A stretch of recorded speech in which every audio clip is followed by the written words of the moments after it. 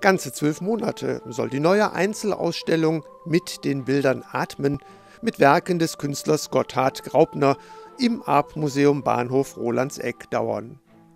Nach der fulminanten Mur-Ausstellung 2017 mit Besucherrekorden suchten die Ausstellungsmacher wieder ein großartiges Werk, das in die von Richard Meyer gestalteten, lichtdurchfluteten Räume des Arp passt.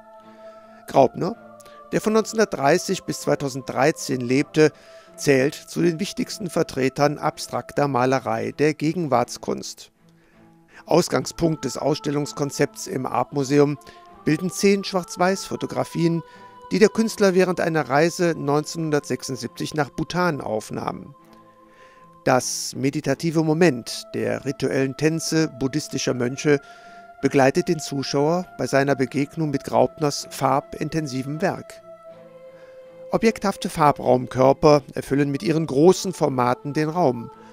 Beginnend mit Grau, Braun und Schwarz wird die Palette zunehmend bunter und von leuchtender Farbigkeit.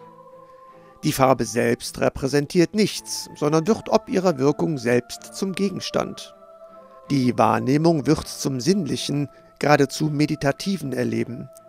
Das Atmen als zentrales Element der Meditation war denn auch bestimmend für den Titel der Ausstellung mit den Bildern Atmen. Die Ausstellung läuft bis zum 10. Februar 2019.